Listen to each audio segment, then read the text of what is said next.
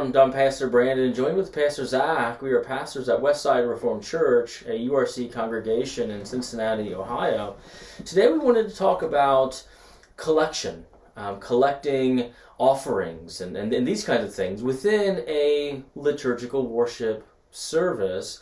But kind of broadly, before we kind of get into any sort of specifics, you know, why are we talking about collection? Mm-hmm. Yeah, I think I've had some uh, personal studies on this recently, and it's uh, something that really fascinates me. And um, there are a couple reasons that I started to undertake this um, you know, time of study. And one of them was just the kind of practical thing that I think every church across the world recently experienced uh, during the whole COVID um, thing, where all of a sudden um, the passing of an offering plate or offering bags uh, was suspended, and that caused a lot of um, angst for people. Uh, on one hand, just a practical one of, you know, how does the church uh, function if they're not uh, having a financial collection? And so, those who had been collecting within within the worship service proper, they had to make other accommodations. Um, and now that the whole COVID thing has uh, finished, or whatever you want to call it, um, now the question ends up becoming, well, should we return to doing that? I've even heard some pastors say, actually, we kind of like not having it. And so why don't we just maintain not having one in the worship service? And so there's a broadly cultural reason I wanted to kind of in, investigate this, but even more specifically, um, within Westside Reformed Church, we uh, from the beginning did not have a collection within the liturgy proper we actually chose from the beginning to have a collection box uh, immediately outside of our worship space where you would deposit your um, uh, your offering as you came into the place of worship or as you left the place of worship, and that that would be then how uh, it was done. And so I begun to come across some biblical texts that maybe were uh, challenging that um, uh, the direction that I led our church in and maybe uh, suggesting to me that maybe it was time to revisit uh, the practice. And so, both from that kind of COVID 19 angle, but also from the kind of you know, biblical textual uh, angle, I felt like it's been you know, important to, to revisit this topic. Is there anything um, uh, historical within the kind of the Reformed Church that maybe um, kind of got you also thinking about this? Yeah, absolutely. I was um, originally um, pushed in the direction of not having a collection within the service proper by prob maybe my favorite modern theologian and writer, uh, Hughes Oliphant Old. I just love the guy. I love his works. I just read as much of him as I can. Uh, but one of the things that he uh, said within one of the uh, within some of his books is he really does not believe that there was an offering, a collection within the liturgy proper among the Reformed churches back in the 16th and uh, early 17th centuries. He's very emphatic upon that, and I, you know, took that and said, okay, well, he knows what he's talking about. He's the guy is um, uh, just a great scholar, and so you know, I took that, and um, I think recently, as I've been reading, I realized that he probably wasn't right. Actually, he, he wasn't right.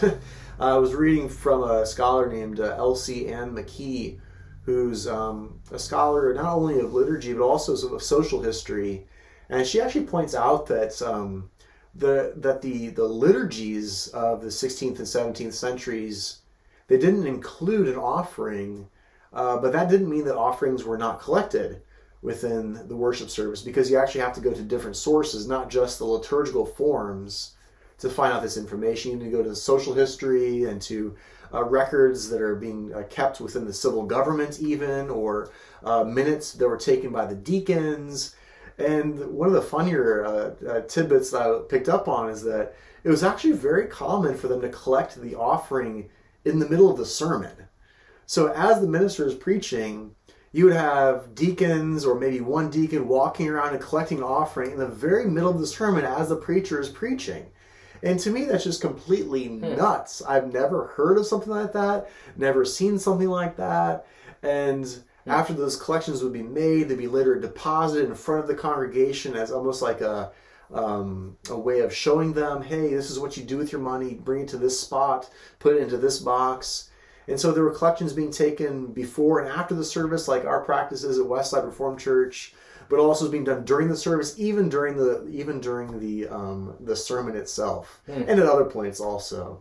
And so, but those were not things you can pick up from the liturgical forms. You have to pick it up elsewhere. Well, that, that makes sense. And if you're just looking at like their bulletin, as it were, That's right, exactly. and you're saying, well, it just says sermon, but really in the sermon, the, the, the deacons are going to walk around and collect. You wouldn't pick it up. Um, and so, is, is there also is there a distinction between different types of collection? You know, sometimes when we think of collection in our mind, we're thinking of just like a you know a, a general collection. But is there was there maybe differences between maybe a diaconal thing versus uh, Yeah, I, I think that there has been uh, for certain, and it's hard to kind of to, to, to get you know spliced through some of these things, but I think we probably are um, uh, wise if we begin by thinking about some of the Old Testament um, uh, system of offerings, where we have different kinds of offerings that are being offered. You have at, at sometimes are food offerings, so animals or grain. You can also have some financial offerings being brought in with the, the various tithing systems, but they weren't just tithing money. They were also tithing food and produce from their fields. And so some of these things kind of get mixed together. But when you look at the different kinds of tithes that were being taken up, some of them are what we might call a tithe in our day. In other words, like 10% that's being given toward like the liturgical budget of your church, or another tithe, the 10% was being given toward the king, his palace, and his army that he was raised, raising up. There's another tithe that was an every, I think, three year tithe that was then, you know, kind of a 3.3% per year, if you want to call it that, that then went toward the poor. So different different kinds of tithes. I think that probably in the Old Testament, that each year they were actually getting about 33.33% of their of their um, uh, earnings toward the different kinds of tithes. Uh, but yes, there was a distinction there between the kind of tithe for the uh, Le- the, Le- the Levitical um, uh, system, a tithe toward your own feasting for the feast days, a tithe toward the king and toward the civil governments, and then a distinct tithe that was we could call benevolence toward the um, toward the poor, a sort of diaconal uh, consideration. And I think that those different um, uh, considerations were important for Israel to be mindful that they were um, supporting different things uh, through their through their giving. So similarly, in our day, we give toward the civil government and our taxes, and our government goes well beyond ten percent, of course. Uh, but there is that uh, aspect within our giving. There's the kind of giving toward uh, the church and our liturgical uh, consideration. I think it's also wise to have uh, to be mindful that we're not just giving toward the, the bottom line budget of our church, we're also caring for uh, those within the church who um, have mercy needs and toward the benevolence a- as well. How might that get worked out? It might be worked out in wisdom in different contexts, in different places. But I think it's important for people to be mindful that they're not just giving to, to, to the upkeep of a building, to the pastor's salary. I think they also need to be very mindful that we're taking care of our brothers and sisters who are in, in need as well. And so thinking like thematically about like what the offering is symbolizing and, and what what, uh, what what the collection is is doing, is there like uh, you know obviously maybe not in the middle of the sermon, but is there maybe uh, an, an ideal place you can think about? Now obviously this has to be worked out and polished some, but is there maybe like a kind of a uh, a better place for it within the liturgical flow of things in your mind? I, I do think so, and I think that I could, maybe could say there are better places where it could be put than others. I think that as we consider our as we consider our Protestant um, emphasis on uh, gratitude as a response to God's grace, and that God is the one who saves us, and then we respond by giving ourselves as living sacrifices of thanks and of praise. That helps us to then think about how we might conceive of an offering within a service. So I think it should be therefore in a place where there's a very clear response to God and that the priority is being given to God and His Word, uh, toward God and His gift toward us. so maybe two places that could be the, the best would be, you know, for example, after the sermon would be a very, um, I think, ideal place uh, to to place an offering.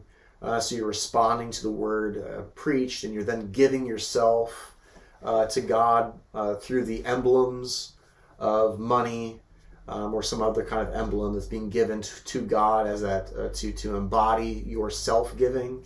So I think that's really what all offerings were, whether it's on animals or money. It's the offering of yourself to God, and so that could be done after the the sermon. Um, I've also been in a, a URC church that uh, took up that uh, offering immediately after the Lord's Supper, and so that could also be, I think, a very um, uh, appropriate place uh, to put an offering. Um, and then again, you could still do it if you wanted to outside the service, but maybe more formally as you're leaving the, the worship service right after the benediction. I think that could be an okay place as well. But I think I'm being pushed more in the direction of being within the liturgy proper. Mm-hmm. And I probably prefer the more historical place of doing it right after the sermon and before moving into the Lord's Supper. Mm-hmm. So that seems to be maybe the you know the the tracks that have been laid by the Christian church east and west across the generations and might be a helpful place place to do it. Sure. Yeah. Any closing closing thoughts that you would want to say about it, or? I think maybe just to point out a couple difficulties that we're wrestling through as a council, and I'm trying to wrestle through as I'm doing maybe some more in-depth work on it. There's the difficulty of moving toward a cashless society, mm. and this is not the ideal time to be thinking about having an offering, is it? Uh, when we are kind of getting away from um, paper cash and coins, and even getting away from checks uh, being moving more toward like online giving only. That's not very uh, uh, helpful if you're thinking about an offering. And so I think that's important just to raise that. That's a difficulty that uh, churches are going to need to consider. I think it's also important to recognize that when we do have these offerings within a worship service, that I think that we could do a much better job of emphasizing the self-giving nature of an offering. That we're not just giving that thing, uh, that money or whatever it is, but you're really giving yourself. And I think that probably could be highlighted more in order that people understand theologically what's going on. You're not just paying for the sermon, you're not paying for the Lord's Supper something along those lines, some gross transaction, but really it's that self offering of a living sacrifice and that we give by way of those tokens that are placed in a plate or whatever. And I think that also um, helps people who might not be inclined to give to actually begin to give if they see it in that theological way. Mm-hmm. That um, where your uh, treasure is, there your heart is also. Mm-hmm. And so we really are giving ourselves to the Lord. Mm-hmm. And uh, if we're refusing to give toward an offering, well, then maybe we're, maybe we're refusing to give ourselves as well. Think that's an important question we need to then ask ourselves. Mm-hmm. But I think those are some of the kind of maybe more practical pastoral uh, considerations that each um, body of elders and deacons needs to consider for themselves. And uh, you know, last thing um, I found to be very helpful from uh, Elsie Anne McKee, uh, she was emphasizing that within the um, Reformed tradition, one of the really helpful things about the offering is that it really gave um, an important place to the diaconate, and it helped to, to bring together uh, worship and piety toward God with charity toward our neighbor. It kind of brings those two things together in order that our worship, our liturgy, which is really you know vertically directed, also has that horizontal component that is part and parcel of Lord's Supper, where we're really loving each other. And so the offering really helps to bring that to bear that our worship leads to our love. And so I think that the um, the, the importance of uh, the you know, ministry of word and sacrament with care for the poor and one another is, I think, really brought uh, together and integrated with with um, an offering as well. So you know, some various angles there that uh, could be fleshed out a lot more, but that's just rapid fire for no, you. No, that's helpful to think about in terms of you know the the, the theological reasons mm-hmm. and the the giving of yourself not only for the ministry of word and sacrament, but also for the poor mm-hmm. in terms of charity, also for mission work mm-hmm. and right. de- uh, church planting, developing, all, of these things, and you know, wanting to, to give of yourself. Mm-hmm. You know, that's I think it's helpful. And I think within that, one of the maybe one of the critiques that might be helpful to, um, you know. uh, bring this out a little bit more is that oftentimes the Reformed Church is criticized as being too heady, Mm. and oh, you, you gather and you worship, but it doesn't affect your life. Well, the, the, the point of this is saying that the offering is one way of really emphasizing this affects real life Mhm. Th- because it brings to bear the fruits of your labors and it brings to a liturgical expression the importance of our love for one another Mhm. as being the important outflow of these things.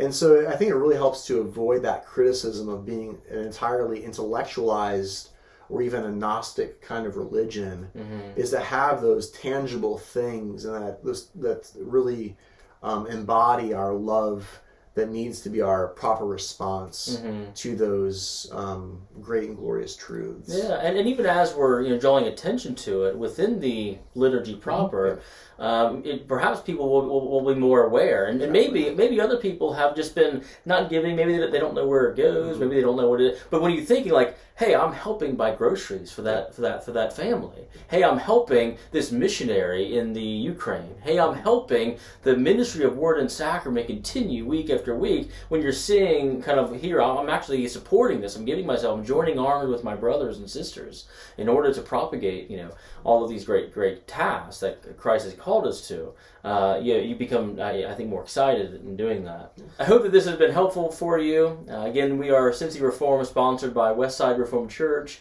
You can find our previous podcast at cincyreform.org, and we look forward to seeing you next week.